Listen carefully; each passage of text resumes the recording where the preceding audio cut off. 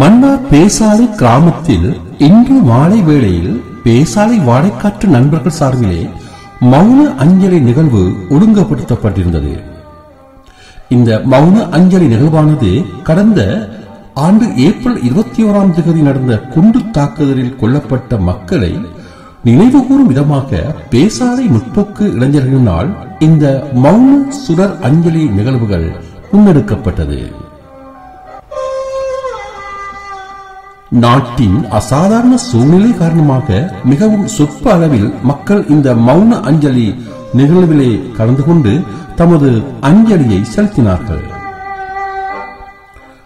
ஆயிரக்கணக்கான பேசாலை மக்கள் கலந்து கொள்ளக்கூடிய இந்த அஞ்சலி நிகழ்வானது அசாதாரண சூழ்நிலை காரணமாக மட்டுப்படுத்தப்பட்ட அளவில் இந்த நிகழ்வுக்கு மக்கள் கலந்து கொள்ள அனுமதிக்கப்பட்டிருந்தார்கள். மக்கள் எல்லோரும் தமது வாயையும் மூக்கையும் மறைத்துக் கொண்டு மிகவும் பாதுகாப்பான நிலையில் அதே வேளையில் உணர்வுபூர்வமாகவும் இந்த நிகழ்விலே கலந்து கொண்டார்கள். பேசாலையிலிருந்து பெலிஸ்டஸ் பச்சேக் அவர்கள் தேந்தம் ஓசைக்காக செய்தி வடிவமாக தந்திருந்தார். தேந்தமிழ் ஓசை சார்பாக பேசாலை மக்களின் சார்பிலே நாமும் எமது ஆழ்ந்த அனுதாபங்களையும் அஞ்சலியையும் தெரிவித்து நிற்கின்றோம்